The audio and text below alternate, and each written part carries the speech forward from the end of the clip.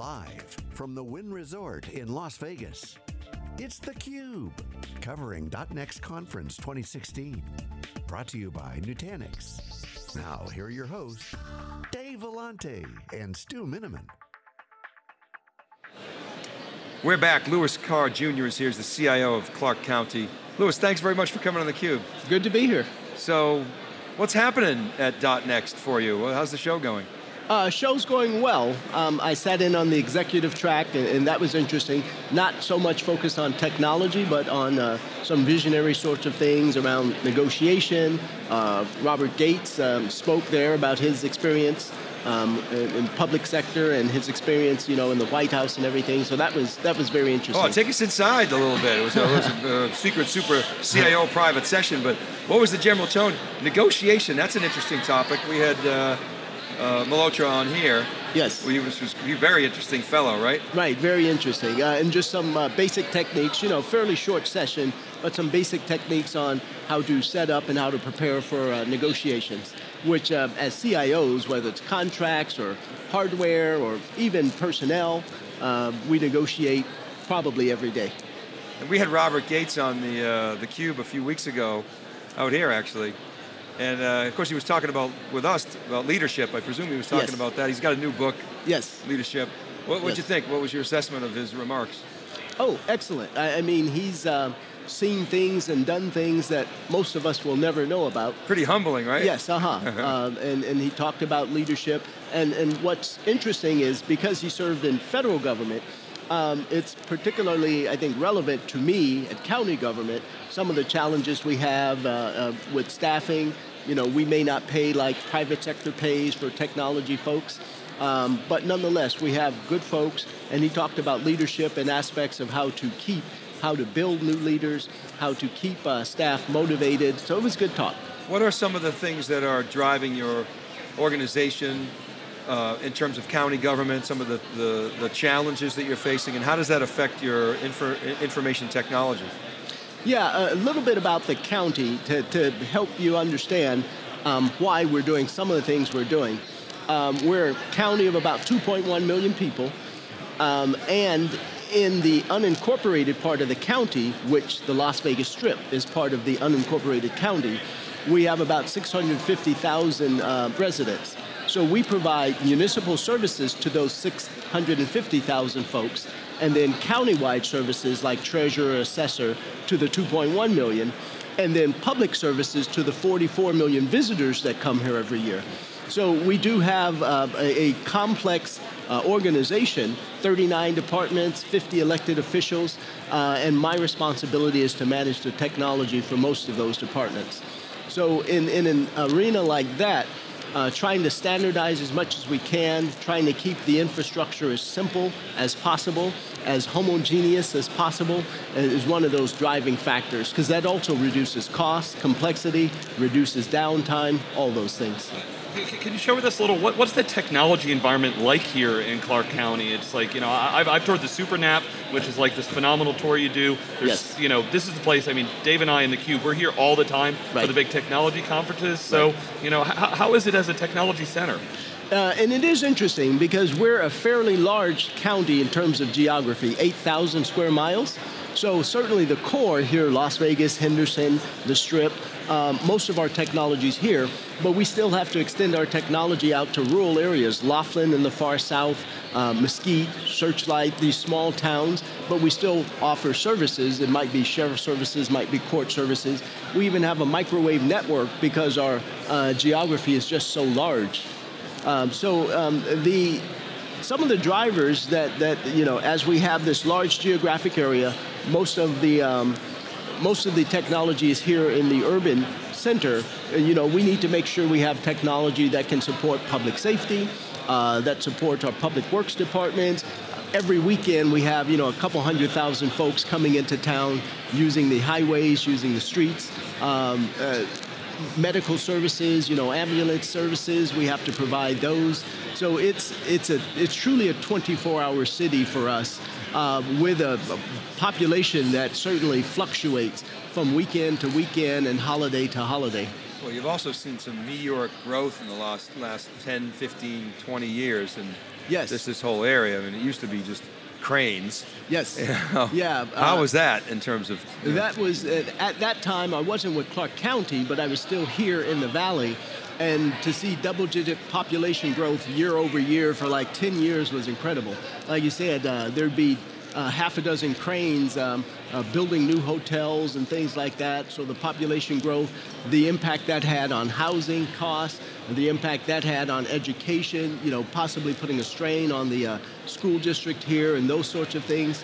Uh, it has been a challenge. Growth, um, growth is sometimes a challenge, especially growth like we experienced uh, back in the 90s. So if the hockey team comes in, is that under your purview?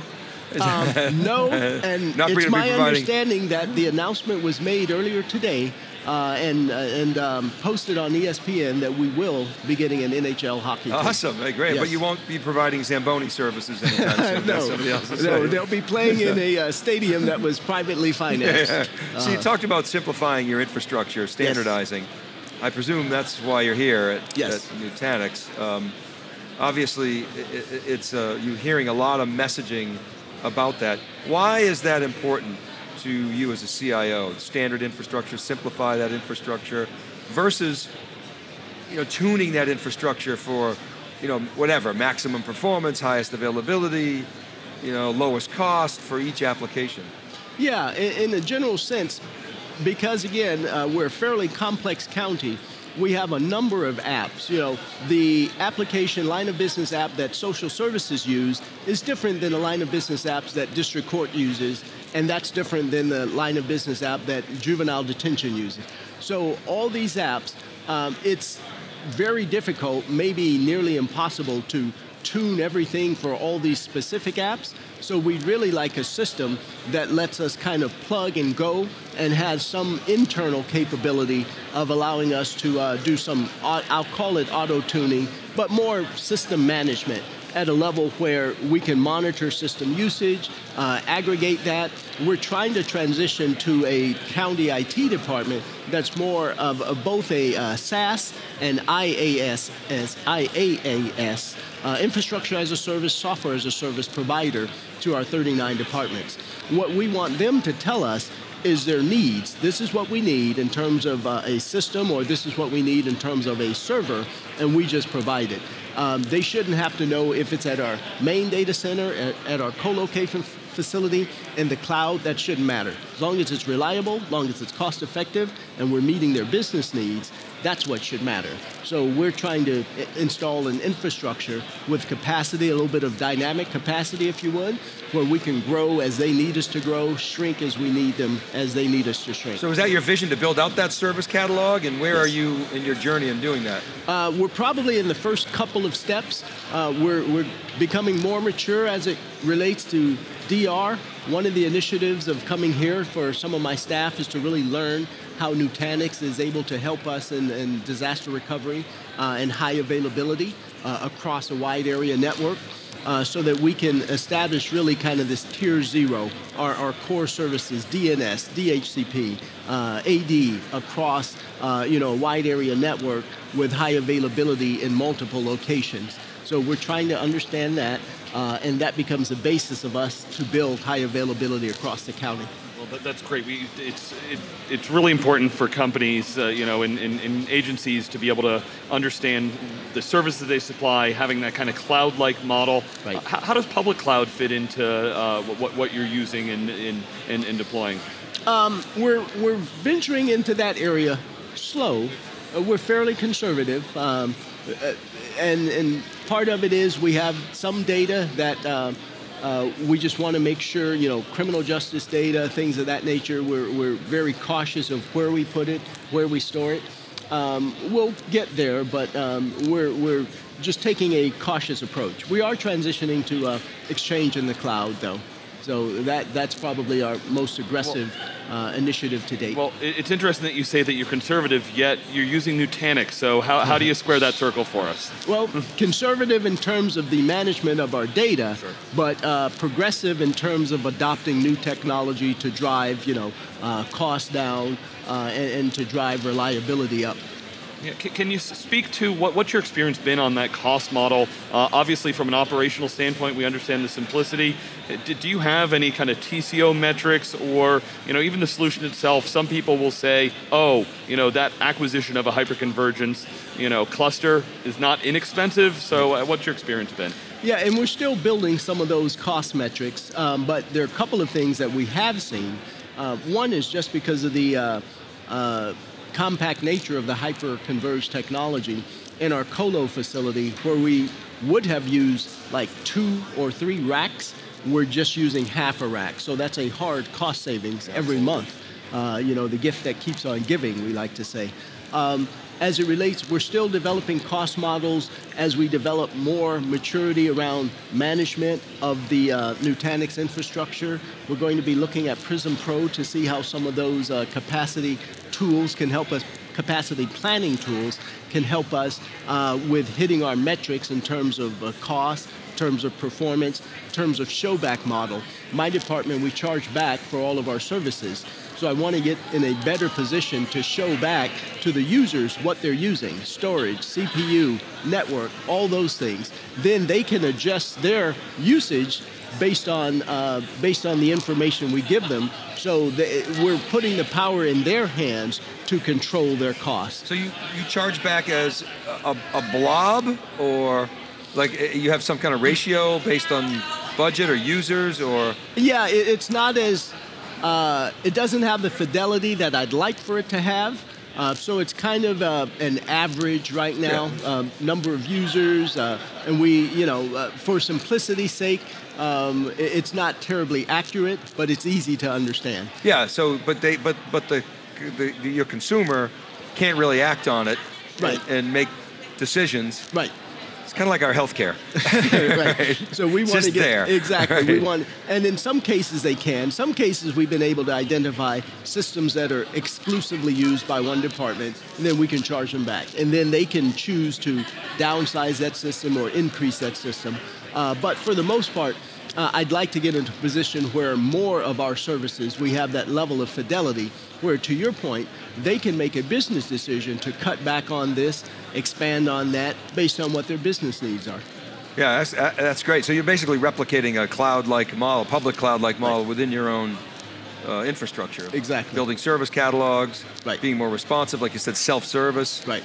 Well, or quasi-self-service. How will that work if somebody wants to compute you'll spin it up for them, or yeah, um, just to keep it under control? We'll, we'll spin it up, but the, the long-term future would be there might be some sort of a portal where almost like an Azure sort of thing where they could go on, they would specify what they needed, how long they needed it, and when it was spun up, we'd be, you know, the clock would be ticking, uh, like the meter on the taxi cab.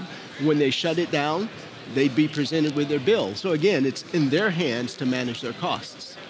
So, uh, have you had a but chance? that's a ways off. Have you had a chance to look at the announcements that they made this week? Anything that kind of stood out for you? And uh, also, I'm curious, are you using the Acropolis hypervisor? Uh, we are not at this point, uh, and I am not that technical. So some of the announcements uh, go over my head, but I do have a, about two or three of my folks here, and they're really excited about some of the announcements that you guys have had. So um, uh, we've had some discussions about how the new technology will help us kind of stabilize more of the Nutanix uh, environment. We're looking at acquiring more uh, for VDI. Some of our short-term initiatives are a proof of concept around VDI using Nutanix. Uh, we're also looking at, as I mentioned, high availability. we we hope by the end of the year to have a proof of concept done around high availability for one of our line of business apps as well. So um, they're hearing solutions here that will help us accomplish those goals. Great. One of the trends we'd seen for a while is there'd been some consolidation of the stack. Um, Nutanix is, you know, relatively young mm-hmm. player, so if you're, you're, buying them, you're still using lots of others. I know uh, you're, you're, using SAP, you're using right. other environments. How do you look at Nutanix as a partner, uh, and how do they fit into kind of your other partnerships that you have from a technology standpoint? Yeah, as, as I look at uh, kind of the strategy for Clark County, um, it is about uh, standardization and uh, consolidation from a hardware and software perspective, uh, whether it's SAP, uh, we're using ServiceNow as our ITSM solution. Uh, instead of buying all these one-offs, we'd like to really leverage the tools we have more to reduce our application footprint. Um, that has the advantage of one, reducing costs, but two, developing deeper expertise for the staff. Instead of a programmer having to know 10 different tools, if he or she can learn one or two tools, they can become uh, better experts at that tool. It was interesting at the CIO panel this morning, you know, the interviewer invoking the career is over rubric. um, but there was discussion about the role of the CIO. So I don't, I don't want to go to career is over, but, but there was useful discussion, I think, around uh, the role of the CIO in terms of technical CIO versus more business oriented. You mentioned just now you're not a, a technical CIO, you're not a CTO. Right. Um, so how do you see that role evolving? Uh, it's actually one that we've talked about a lot on theCUBE where, where the, C, the technical CIO, we see going more to a CTO role. Right. And the CIO becoming more of a you know, business, you're in a non, you know, Right. government organization, Right. but it's still business, you know what I mean by that. Business process. So you are a business right. process CIO, is that right? Or? Yeah, and I do have two deputies. Uh, I would consider them, in today's terminology, CTOs. And they report to you. Yes, they do. Uh, so my job, I spend most of my time um, interacting with the the department heads, assistant department heads, executives, elected officials to understand, you know, uh, what's driving our business, how can we improve customer service, uh, and both me and my deputies meet with department heads and, and various folks throughout the county. But uh, I spend the majority of my time uh, focusing on how we can enable the business to do things better, faster, cheaper. Uh, and I take those uh, conversations back to my CTOs, and then they figure out which technology matches up best. So you're essentially building relationships with your customers, turning those, in, understanding the requirements, turning those into actual services, Yes, and you're the middleman of sorts, right. making that all happen. And of course, Right. you've got a management role as well, so you've got a stick that you can use. Um, okay, so, and I think increasingly, would you agree that's the role of the, the CIO, is translating those requirements into services and, and getting delivery. Yeah, and there's also this uh, secondary CIO role, Chief Innovation Officer. Um, I- I'm, I consider myself that role as well. Uh, as I talk to other departments and they talk about uh, solutions they've seen at conferences that they've attended, uh, software solutions, hardware solutions, uh, I work with them to try to create, uh, again, to innovate in their departments. Um, whether it's uh, the social services folks and mobility initiatives, uh, or it, it may be some other initiative in other departments where we're really trying to maybe take a couple steps back. And, and to your point, we're looking at uh, their process. What are they trying to accomplish? Uh, regardless of the technology initially, but what, what's driving this new line of business or what's driving this new service? Uh, is it you know a regulation that's come, or they have metrics that show that they can do things better? And then we look at how our technology can help them drive towards their performance goals.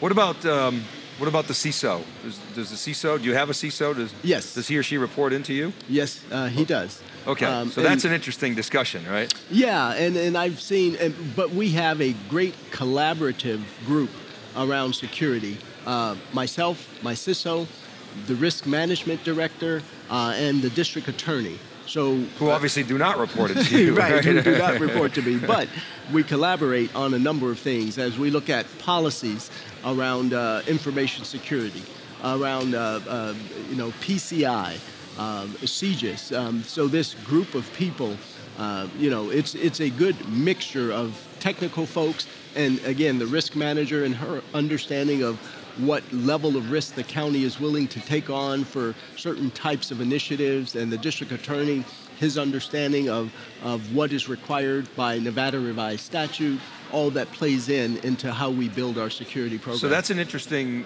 regime. So, you know, a lot of people will say, well, the CISO should have latitude. Maybe they report into the CISO, CIO, maybe not, but they should mm-hmm. have latitude because otherwise it's the fox watching the hen house. right. But you've got a regime that involves risk management, so it's an integral part of risk management, and you got a legal expert Right. involved. To whom do you all, I don't want to say report, but to, to whom do you communicate about what's going on with cybersecurity? Is there what's the uh, overseer board? Uh, and and part of my role is to have that communication, the discussion with the uh, executive oversight board, the county manager, the two assistant county managers, the CFO, and the CAO, who I report up to. CAO is Chief Administrative, Administrative Officer. Okay. Yes, and that's essentially the the top dog of the organization. Is that right? right? Uh, a lot of the uh, internal services report up to her. And and so that board that you just described, how tuned in are they to cyber, and has that level of signal increased over the last several years? Um, I think they're fairly well tuned in. I have quarterly meetings um, with the entire board where we go over initiatives. Uh, of course, every other week I'm meeting with my boss and I keep her abreast on uh, initiatives that we're working on. And we have a handful of uh, technology initiatives around security now PCI compliance, uh, identity and access management. Uh, we're going to be rolling out, uh, we've done a pilot and we're going to be rolling out a whitelisting software to complement our antivirus software. Uh, we're also doing some things around two-factor authentication, so that's part of my security portfolio.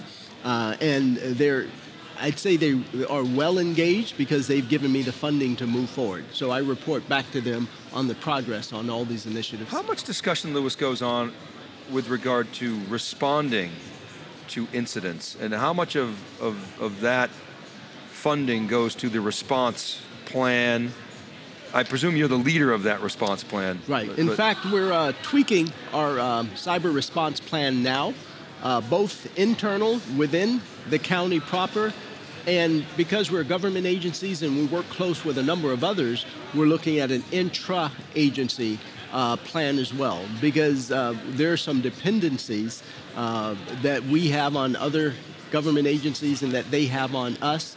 Uh, so we're starting to explore and, and we'll be building out an intra, uh, an interagency um, cyber response plan. Do you test, you know, your response?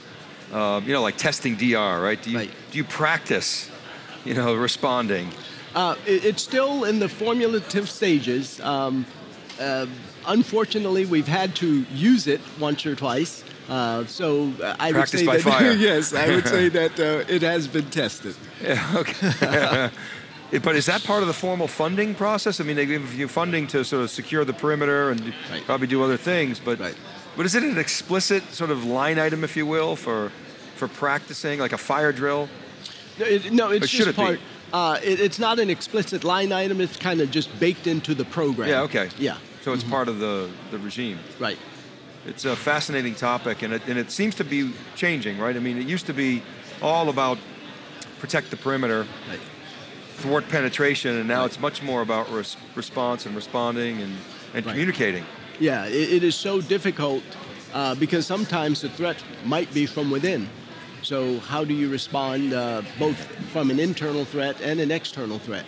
Uh, and having that um, response plan in place and, and like you said, uh, practiced so that you know it works. Mm. All right, Louis, we're out of time, but I'll give you the last word on uh, talk about the, the, conference here, things you've learned, things you'll take back to your team. Uh, things I've learned. Um, part of the, the, the great thing about most of these conferences that I attend is meeting other public sector folks. So I've, I've met a number of folks, uh, uh ASU, uh, A&M, um, uh, City of Houston, Harris County. So we're all starting to network so that we can uh, share ideas. You know, granted, uh, Nutanix, we can call them, they can give us great ideas, uh, but having other public sector agencies that we can call and say, how did you handle this? Not only from a technology perspective, but also from a, a procedure and policy perspective. Um, Nutanix probably wouldn't know how or why government right, procedures and policies are the way they are, but I can call Harris County or I can call Orange County. And, and if they're using the technology, then we can share ideas. It's all about the peers. Yes. Bringing you content from .next to the peer group uh, within the SiliconANGLE community. Louis, thank you very much for coming on theCUBE. My really pleasure, my pleasure. all right, keep it right there, everybody. We'll be back to wrap right after this short break.